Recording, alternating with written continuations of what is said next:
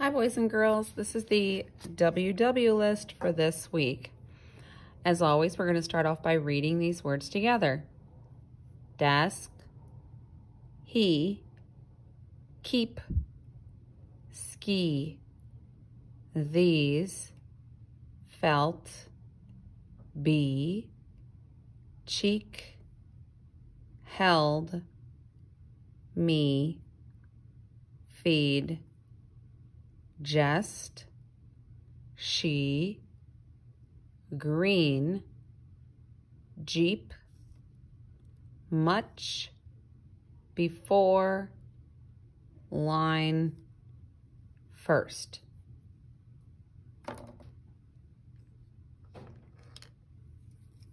You can hit pause while you look over these words and try to figure out what is it that we're looking at this week?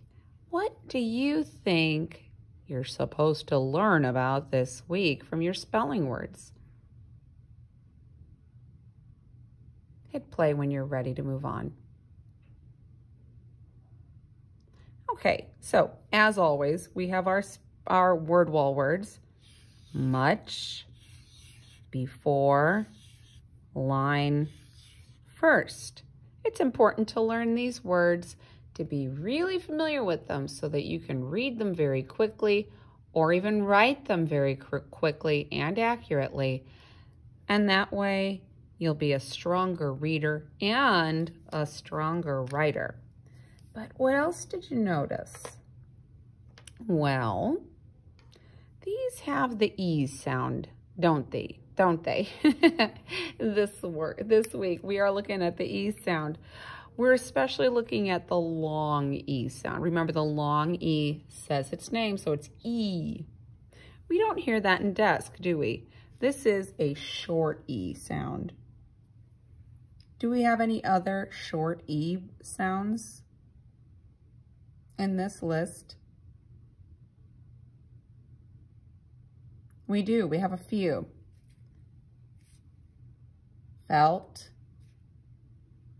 held, just. That symbol means the short vowel sound. How do we know that these are short vowel sounds for E? Well, we see the E consonant, consonant.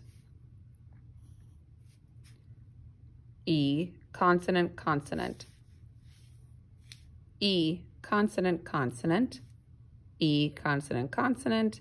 E, consonant, consonant. And because of that, we have the short E, the eh sound.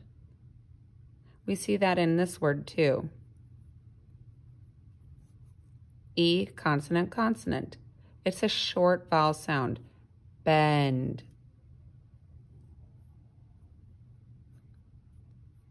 We see it again here. E, consonant, consonant. It's not leafed, it's left. Eh. So here we have short E. But the rest of these words have the long E sound, or E, right? We see it with just the letter E in he and be and me and she. Now, this is kind of unusual and we don't see that too much. The only other word I could think of that has the long E sound made by just a E is this word. We. And for some people, this word. The. Sometimes we say this word the, sometimes we say it the. Have you ever noticed that? Like when I'm saying, uh, let's say I get to the end of a book, I usually don't say the end. I usually say the end. Don't you? I don't know why. We just do. So these are some words that have the short, no, the long E sound with just that E hanging out at the end.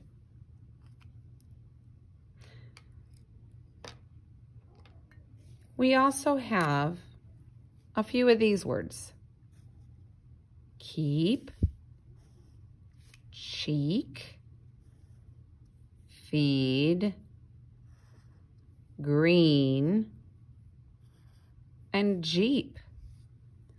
We have two E's working together to make the long E sound.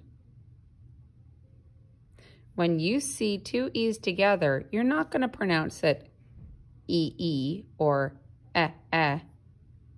You just pronounce it as one E sound. K, eep, ch, eek, f, eed, gr, een. So, two E's together. We see that in a lot of words. It's very common to make the long E sound this way, like B. Now, of course, that's different from this. B-E-E, B is, you know, like a little bumblebee flying around. We also see it in seem and see and lots and lots of other words. Now, we do have two little leftover words here, don't we? We have, let me find a good marker for this one. We have ski and these, and we're gonna call these our, our oddball words you don't see this very often. And oddly enough, we don't see this very often either. A lot of times that silent E makes our vowel a long vowel. We see it all the time with the other vowels. We see it in fine and mine and hide with the I, right? We see it in made, shade, fame. With A, we even see it with the U and the O lots of times. But that's not what we're talking about this week. We're talking about E. And this is actually a pretty unusual way to make the E a long vowel. We see it in names like here, I'll say E, consonant E. We see it in the name Pete or the name Steve.